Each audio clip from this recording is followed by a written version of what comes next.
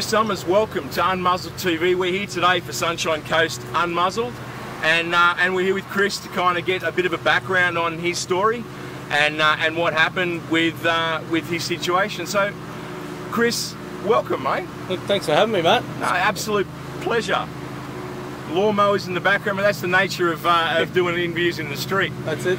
So, mate, tell me the first thing I really want to understand: has any media outlets actually approached you about trying to find out, uh, getting a deeper understanding about all of this? Besides yourself, mate, nobody has. No media has come and approached me for anything. It's like they're not interested in the story, you know. So we've got we've got a we've got a situation where obviously there's a lot of controversy about this. It's gone through the court. It didn't seem to pan out like the general public was expecting. Um, coming back to, I mean, look, we're here today at the site of where the RBT happened. Tell us a little bit about, you know, how, how did it unfold? Look, everyone's seen the video that got posted on YouTube. It, it was just a normal day, you know. I was coming home from work. I was travelling down this road here, coming past, and the copper decided to pull me and five or six other cars in for what, what he calls a random breath test. Okay. So he walks up to you. You were the first in line, were you? Yeah, mate, it was. Okay. So he walks up to you, and we notice your footage, and uh, and and for the viewing public, we have also got a copy of the the footage from the officer's lapel. The footage actually starts part-way through the conversation. So obviously there was conversation before you started recording. Yeah, there was. Yeah, look, he pulled me over and he started to tell me, you know, you've been stopped for a random breath test, and immediately I just cut him off and I said, mate, I'm, I'm under arrest or am I free to go? Yeah. And it just continued from there. He then he asked to see my driver's license, and I explained to him that it's not my license. I don't own it. I did show it to him though to, to prove who I was. So otherwise, that was another charge they would have tried to lay on me. Yeah, yeah. So to kind of to, uh, the whole idea of this is to drill down into this issue and kind of explain it to the public. There's a lot of things being said. First and foremost, do you think people should just be able to drive around drunk, get away with it? Not at all, mate. Look, I'm 100% against drink driving, and I do think that we need drink driving laws. We need things like breath tests on the side of the road. Yeah. But we also need the police to follow proper due process. Okay. And, and act, they need to use the authority which they're given in the correct way. Okay. So, look, this is something that we'll get to later on in terms of the legitimacy of random breath testing laws. I think that much has been made public through the mainstream media that you can test the legitimacy of the laws upon which the police reply, uh, rely upon. That's right. But for today, and coming back to this this kick-off moment here on the roadside, there's a couple of things we've noticed that seem to raise more questions than they answer. So you were pulled up with three or four other cars. We noticed in the footage there's a motorbike in the background. Now, did the police officer, you know, you were arguing with him, okay? So you're an obstructive citizen. Now, he's there for the purposes of making sure the roads are safe. Uh, that's his that's his premise for pulling people over. Did he actually attempt to breath test anyone else? No, he didn't. He he actually was speaking with me for a couple of minutes. It was then at that time that I pulled out my phone and told him I was going to record the conversation. Yep. And then you see him in the video, he's waving the traffic behind me on. Okay. He passed on about five, maybe six cars. So the intent of the, the roadside breath test was to make sure that people in their cars on the road were not intoxicated, not endangering other people. Exactly. Yet it seems from this video that he had a preference to stand there and argue a point with you rather than, I mean, look, I can't speak for the police, I'm not a police officer, but one would imagine, you applying a logic, that if someone wants to argue a point and you believe you're justified in having them there on the side of the road, the common sense thing would be to go, listen here, mate, you want to argue with me, you wait there for a second, go and breath test the other people that he's stopped on the road, and then come back to you. So obviously that didn't happen, and it raises even more questions. Um, so I think that's something for the public to kind of consider about how are these laws applied, and how how how is policing actually making safer roads if police prefer to argue with someone who questions their authority as opposed to actually try and make the roads safer. Yeah, look, that's a very good point, Matt. You know, and I can't speak for the copper and his personal opinions as to why he did what he did. Yeah. Um, you know, he, he has a, a duty of care to follow um, with the people that he pulls over. Um, I was first in line, so therefore he's probably more obliged to sit there and talk to me. But as for the reasons why he waved him on, I can't comment for him. Yeah, and, that's fair enough. Look, we might uh, reach out to to you know a police representative and ask them, you know, what is the thinking behind that? Because I think it's something that that the people would like to understand. So where we stand now, you totally agree with random breath testing. You think it's important for road safety. Uh, we've covered that. You question the legitimacy of the existing laws, and we look forward to coming to that in the second and or third part of this, you know, interview series to bring to the light of day the depth of why this happened on the side of the road. But coming back to right now, you obviously had this um, exchange with the police officer. We note in the footage that at one point in time he said, You're under arrest. Mm. And your response was something along the lines of, you know, Am I? Now he seemed to move past that. Um, and again, from what I understand, later in the court case, he actually said he had no reason to believe that you're intoxicated.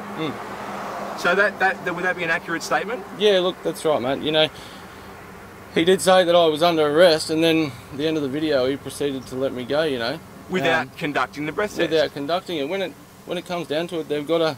The police officers can't just pull anybody over willy nilly, mate. They've got to have reasonable suspicion. You know, did he see me with a drink in my hand? Was I drinking at the time? Was I swerving across the road? Was I speeding? Was I doing anything to give him a reason to pull me over in the first place? Yeah. And I, I wasn't, and he clearly states that in his statement that went through the court. Okay. So we start to get to kind of getting into what powers do the police have to conduct random breath testing. So there's two styles from my limited understanding and you might be able to expand on it and we'll certainly pose it to a police representative if they agree to an interview. But there's two styles of breath testing. There's one where they have reasonable suspicion and they conduct a roadside breath test. The other one is where they set up and do random breath testing. So they don't have any reason to believe people have been drinking. They're just pulling people up randomly and making sure that they're not intoxicated. Right. So in this situation, this was not a random breath test. There was not a roadside setup, was there? No, well, it was just the one police officer on his own. He had his car parked on the side of the road, and he was stopping every car that drove past. So, Yeah. re- more than likely, yeah, I would call it random. Okay. Now, if you can call it random, you know, he's pulling over every single vehicle. So, Yeah, interesting. So I mean, look, then this is where we get into the context of the law and how it's applied, I suppose. Hmm. So, look, to, to really kind of finish up on this topic, the other thing that we found really unusual is the footage that you were provided by the police for the case actually starts at the very instant that your video commences. Now we're of an uh, of an understanding, and we can always stand corrected with everything that we do. This is an exp- exploration of the facts. We don't pretend to be an authority on this. Uh, that police officers have their lapel cameras running constantly, yet the commencement of your exchange and the process of him pulling vehicles over was not provided to you. Do you find that unusual?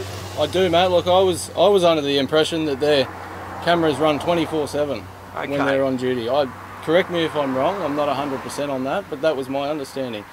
When when it went through the court and in the police officer's statement, he actually said that, well, you know, Mr. Summers pulled out his mobile phone and started recording, and it was at that time that I operate I activated my body camera.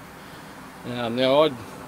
Like I said, I thought that they would be recording 24/7. You know, if some if something did arise and it was in the heat of the moment, you know, how Do you have easy, time to yeah, turn it on? How easy would it be for an officer just to forget to turn his camera on? Yeah. You know? Well, that's it, and that's another question in itself. Very, very interesting one indeed, and it's something that we look forward to kind of, you know, exploring a little bit more. So, for the purposes of today's interview, I just wanted to move across to a couple of the questions. Look, there's a whole lot of conjecture on social media, and a lot of that comes from being ill-informed hmm. and actually having the mainstream media's opinion thrust down their throat. And the mainstream media has been very critical of you, mate, and it has a lot of the, a lot of the public. One of the things that I really want to kind of get your your understanding on, people keep bringing up this free man of the land kind of ideology. Hmm. Now, where where does your understanding? Obviously, this is something that you're passionate about. Where does your understanding of this come, and do, does it relate to free man of the land thinking? Look, the the free man of the land, so they call it, or the, the straw man, whatever you want to call it, is all to do with the name and the license. It's all contract and that sort of thing. Yep. I, I've never once claimed any free man of the land or Yeah. anything. You know, when I went to court, they they called out my name. They said, "Is Christopher Summers in the corner?" I said, "Yeah, mate, I'm right here." Yes. I stood up and I claimed it. I said, "That's me." So by definition, by that very act, that is proof for the general public that this is not a free man of the land initiative. No, look, I'm That's- not. I'm not trying to. I'm not trying to argue that I'm not who I say I am. I'm. I'm Christopher Summers. I'm a living man. Yes. Yeah. When it gets into their definitions that they use of they're calling me a person, a definition of a person is a corporation. And I tried to explain this to the officer on the side of the road, which Yeah. he didn't want to know about it. You know, Yeah. it's And we get into the semantics of of law and legal process. that's right. Look, the whole thing behind it is I'm not. I'm not playing the free man and the land card or anything like that, so to speak. I'm contesting the validity of the law Yeah. and the way that they're enacted, and they're not done correctly. Yes. And this is something that obviously, from your perspective, needs more investigation. And it, I, would assume it steps outside the bounds of the Torum Act and that kind of thing to a whole range of laws that aren't actually in line with their, our constitutional rights and constitutional law. Look, it does. You know, when when laws are created for the for the people to know that a law has followed due process, it has to go through a process, and it goes through the lower house, the upper house, onto the governor general, and then it's given royal assent in the queen's name, and that sort of thing. At the end of it, there must be there's a proclamation certificate they call it, and that's what I kept asking this officer for. I'm saying, mate, show me the proclamation certificate because Yep. that proclamation certificate that proves to me, as a person of the public, that that law has had the proper checks and balances and gone through the way that it should be to be created. Without that proclamation certificate, that law's nothing. And that's it's your not, right It's not even that. a law. That's my right. That's exactly right. You know, look, there's a High Court case in 1943 that says that the interpretation of the law is paramount and it relies on the common man Yes. and his interpretation. Yes. Not what the police think. It's what the public thinks. So what this comes back to really is a whole lot of education. Obviously, people are so busy in their lives, they don't have time to, you know, look, obviously you've done a lot of research around this and it's something that you're passionate about. The average person doesn't have the time to do that. But one would imagine that the authorities, the law and the people that police the law actually have an obligation to at least give us the opportunity to have a, a, closer, uh, accurate interpretation than just you must do what we say because it's the law without any backing. Exactly. Look, I, I don't even think that the police know what their rights and responsibilities are half the time. You know, like the Constitution of Australia is the highest law in the land in Australia, Yep. and we've got a public servant, a police officer, who's upholding the law for the Yes. common good of the people. Yep. And he openly stated in the video that he hasn't even read the Constitution. Hmm. Now, if someone in a position of power like that, to, to openly state they're not, they haven't read it, that's pretty sad, mate. You know. Well, and you know, you raise a really interesting point because watching the video closely, when when you actually stated that to the officer, and he asked you, "Have you read it?" and you said yes. Yeah. The exchange then went to a demeaning format where he asked you, "Have you read the Reader's Digest version?" Yeah, well, I think that was a lot to do, you know, with when he said, "Oh, have you read it, mate?" And I said, "Yeah." Well, you know, it's thousand and eight pages long. Yeah. And I have had a lot of flack from that, you know, like people are saying, "Oh, what version is he reading?" You know, because the Constitution's only sixty-four pages long. Well, I'm actually reading the Quick and Garran annotated version. Okay.